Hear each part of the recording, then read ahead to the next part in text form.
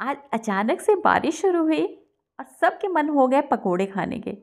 पर घर में बेसन भी नहीं था और सब्ज़ियाँ भी नहीं थी। फिर मैंने सोचा, क्या किया जाए कि सभी इस मौसम को एंजॉय कर सकें? फिर मैंने पानी थोड़ा सा गर्म किया और उसमें भिगो लिया दो कटोरी चावल और एक तरफ़ चढ़ा दिया आलू बलने को। और उसके बाद मैंने ये रेसिपी तैयार की तो आइए देखते हैं ये करारी क्रिस्पी नगेट्स ये किस तरह से मैंने तैयार किए हैं। पर हाँ रेसिपी पे आगे बढ़ूँ, इससे पहले आपने अगर चैनल को सब्सक्राइब नहीं किया है तो सब्सक्राइब कर लें। और रेसिपी अगर पसंद आती है तो लाइक किए बिना, इसे शेयर किए बिना ना जाए। तो आइए देख लेते हैं, मैंने किस तरह से इसे बनाया है। तो यहाँ पे मैंने दो कटोरी चावल साफ़ करके लिए हैं, इसे धुल लिया है और इसको मैंने भिगो दिया था आधे घंटे के लिए गुनगुने पानी में। गुनगुने से थोड़ा गर्म था तो इसे मैंने धुल के, छान के और ग्राइंडिंग जार में ले लिया है।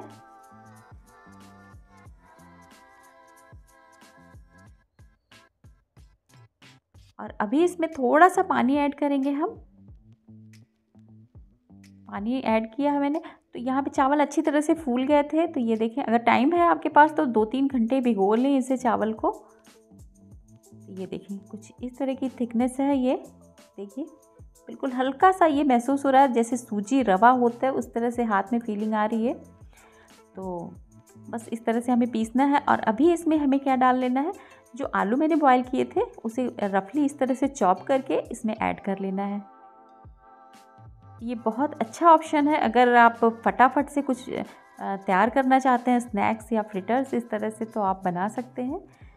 ये देखें, और मैंने स्टोरेबल इस तरह से काफ़ी सारे आइटम तैयार किए हैं, जिसे बना के आप महीनों रख के आप फ्राई कर के आप इसे इंजॉय कर सकते हैं। तो चेक ज़रूर करिएगा। ये देखें, कुछ इस तरह से हमें इसका मिक्सचर मिला है और इसको बनाने में मैंने पानी पूरा आधा गिलास जितना लिया था वो पूरा पानी डाल दिया है। और इसे एक बड़े बोल में मैंने इस तरह से ट्रांसफ़र कर लिया और इसमें ऐड करेंगे कुछ चीज़ें यहाँ पे।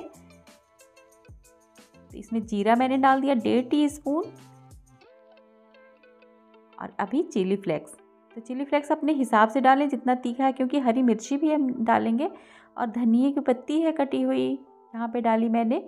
हरी मिर्ची ऐड कर ली तो थोड़ा सा तीखा चाहिए हमें, और यहाँ पे नमक डाल दिया टेस्ट के हिसाब से। मिक्स कर लेते हैं अच्छी तरह से।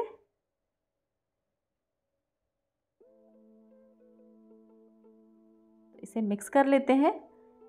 तो ये देखें अच्छी तरह से मिक्स हो चुका है। तो यहाँ पे हम महीन कटे हुए प्याज डालेंगे। प्याज थोड़ी बाद में मैंने डाला, क्योंकि थोड़ा सा पतला हो जाता है ये। इसलिए मैंने बाद में थोड़ा प्याज डाला है।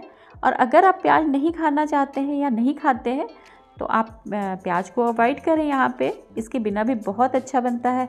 अंदर से खूब अच्छी जालियाँ पड़ती हैं, काफ़ी करारे ऊपर से और अंदर से काफ़ी जाली वाला स्पॉन्जी जैसे ये बनता है। तो यहाँ पे हम तेल मैंने गरम कर लिया, हाथों को गीला कर लिया है और छोटे छोटे से इस तरह से इसके बाइट साइज़ मैंने इसमें डाले हैं पकौड़े। तो आप अपने हिसाब से जो भी साइज़ आपको पसंद है, उस हिसाब से आप इसमें डालें।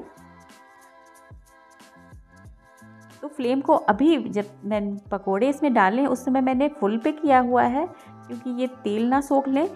और इसके बाद हम मीडियम पे करेंगे, क्योंकि बहुत लो पे ये ये तेल इसमें अंदर चला जाएगा। तो इसलिए इसको मीडियम पे ही हमें करके सेकना है। और कभी कभी जब लगे कि ठंडा हो गया है तो थोड़ा सा तेज़ कर लें आप फ्लेम को। केयरफुली इसे पलट लें इस तरह से। और अभी चिपके हुए हैं तो इसको हमें अलग करना है। बहुत आराम से ये अलग हो जाता है। तो मैंने दो फोक लिए हैं, उससे मैंने अलग कर लिया है। आप स्पून की मदद से, फोक की मदद से इस तरह से अलग कर लें ताकि ये जहाँ से चिपके हैं, वहाँ पे भी ये सीख जाए और करारे हो जाए। तो इस तरह से अलग कर लें। आप बहुत आसानी से ये अलग हो जाते हैं। इस तरह से कुछ। और इसको मीडियम फ्लेम पे ही तलें।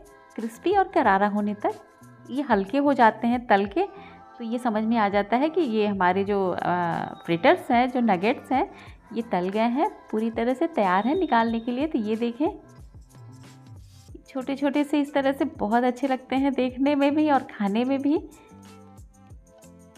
ये देखें तो इस तरह से अगर घर में कोई बेसन नहीं है, चावल का आटा नहीं है या सब्ज़ियाँ नहीं है तो आप फटाफट से तैयार कर सकते हैं 10 मिनट की तैयारी में। अगर 10 मिनट टाइम है और आप गर्म पानी में चावल को भिगो के पीस के इसे तैयार कर सकते हैं, एक क्रिस्पी क्रंची ये चावल के नगेट्स और एंजॉय करें इस अचानक से बदल जाने वाले मौसम को, या फिर जब भी आपको तीखा चटपटा कुछ इस तरह से क्रिस्पी करारा खाने का मन करे तो फटाफट से इसे बनाएँ। तो इस तरह से ही सारा ही जितना मैंने घोला है, सब तैयार कर लेते हैं, तल लेते हैं, इसे फ्राई कर लेते हैं। इस तरह से और अभी कुछ मिर्ची जो है, वो मैंने तेल में डाल के इस तरह से फ्राई कर ली। इसके साथ काफ़ी अच्छी लगती है, अगर जो भी चटनी आपको पसंद हो, उसके साथ ये मिर्ची रखें। इस पर अगर चाहें तो नींबू, नमक डाल दें थोड़ा सा। और इसके साथ सर्व करें, बहुत ही ज़्यादा टेस्टी ये लगता है। ये देखिए, मैंने यहाँ पे टोमेटो सॉस रखा है। आप जो भी डिप पसंद करते हो, चटनी पसंद करते हो, उसके साथ इसे सर्व करें और एंजॉय करें अपने मौसम को। तो रेसिपी अगर पसंद आई हो तो प्लीज़ इसे शेयर करना लाइक करना ना भूलिएगा। और अगर सब्सक्राइब नहीं किया है तो प्लीज़ सब्सक्राइब करके इस फैमिली का हिस्सा ज़रूर बन जाएँ। और बेल आइकन को क्लिक करें ताकि आने वाली रेसिपीज़ जो है, उसकी नोटिफिकेशन आप तक पहुँच सके। तो फिर मिलते हैं आपसे नई रेसिपी के साथ। देखते रहें, इस तरह की काफ़ी सारी रेसिपीज़ मेरे चैनल पे अपलोड हैं, जो कि प्लेलिस्ट में हैं, आसानी से आपको मिल जाएँगी। तो आप ज़रूर वहाँ जाके एक बार चेक करें विज़िट करें।